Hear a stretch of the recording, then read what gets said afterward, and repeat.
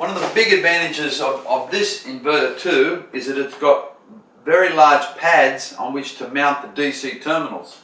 So you'll find even if you touch this when it's running at 190, 200 amps or even more, the current easily is taken into the into the um, into the inverter, and then it's connected not by cables but by bus bar from the inside. So these these this connections and the method of termination into the internals of the inverter are very very solid and and uh, very substantial. We have covers, substantial covers to go over the DC DC terminals to protect it. So that that just they just bolt straight on, and they're very substantial an earth terminal is down here as well as an earth terminal on the on the input so you can connect this to the earth of your uh, of your vehicle if necessary.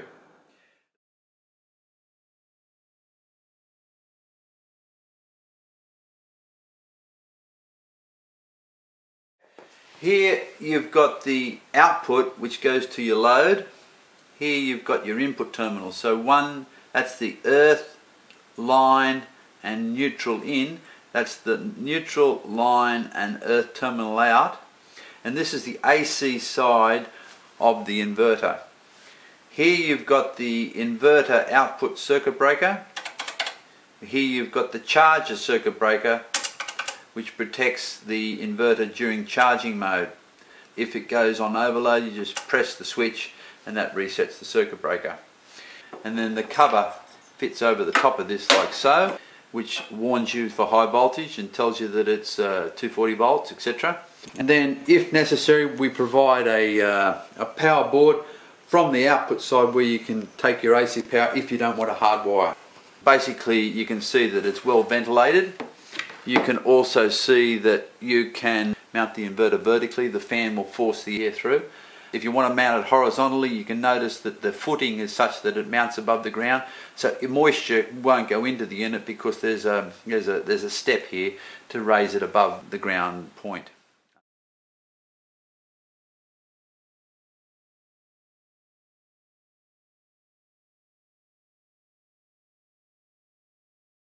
Okay, just talking about the remote control switch here.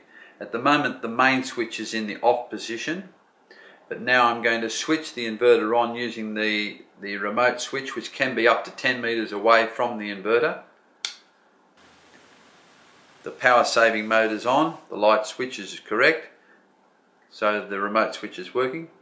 I turn it off and now I go into normal inverter mode, the lights just flashed and the normal inverter mode switches on and you can see here that the lights, the LED lights that are on the remote control switch duplicate which are on the main inverter board which shows its LEDs.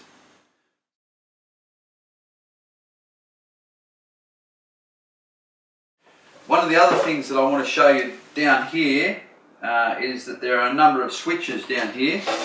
Uh, S1, S2, S3, S4.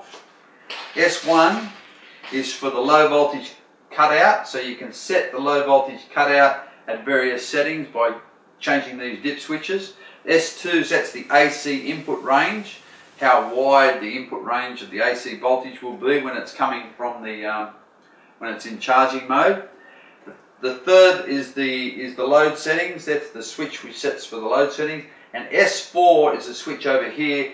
S4 is when you want to run the inverter from a generator and once it's got about 10 days running and it knows what's the normal voltage, what's the unnormal voltage, you can actually automatically turn on the generator when the voltage dips too low. The generator will, that's a, that's a special optional extra.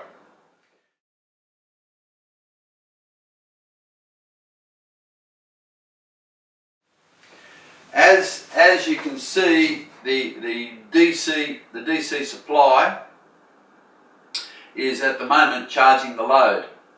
But if I turn on the input power back into the, into the inverter, so that's going into the input leads, not into the output leads there, I turn that on, the inverter is just checking to see what's going on, and now it's switched over into charging mode, so it's in fast charging mode.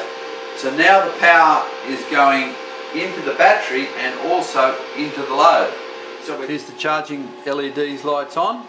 charging current here is 22.3 and we can increase that charging current by adjusting the charging knob. We've increased that to down, down and by increasing it the other way is 30, 45, 70, up to just over 72 amps we're charging this battery pack now. So we're charging the battery the same as still, still supplying the load. So it's like a UPS without a battery. And now the, the charging current can be set here with a, with a dial.